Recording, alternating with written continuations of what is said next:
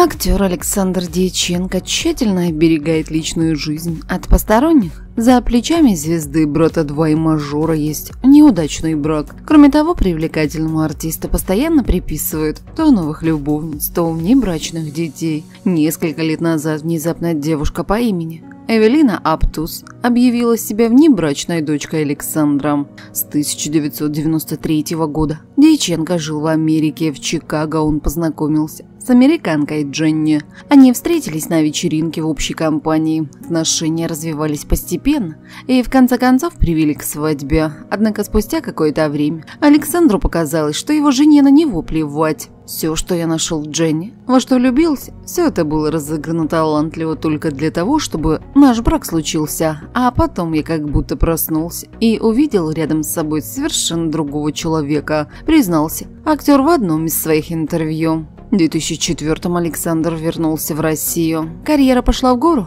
а от поклонниц не было отбоя. По собственному признанию, он не слишком доволен амплуа героя-любовника, а главной женщину своей жизни на публике всегда называет маму. Артист живет один и полностью погружен в работу. А в 2014-м неожиданно объявилась внебрачная дочь актера Эвелина Аптус – она жила в Израиле и служила в армии. Услышав от матери, что ее отец знаменитый артист, девушка даже сменила фамилию в соцсетях на Аптус Дьяченко. Александру предлагали пройти тест на отцовство. Эвелин утверждает, что не претендует на богатство отца и все, что она хочет, это признание. Однако Александр заявил, что в подобных шоу участвовать не станет. Дескать, если есть подозрение, то ребенок обычно сначала связывается с потенциальным папой, а не идет сразу трясти грязным бельем. На всю страну скандальная передача. Меж тем, светским хроникерам программ «Ты не поверишь» на канале НТВ удалось поговорить с 27-летней девушкой, как оказалось. Она вот уже несколько лет пытается хотя бы перекинуться парой слов с Дьяченко, но тот даже слушать ее не хочет.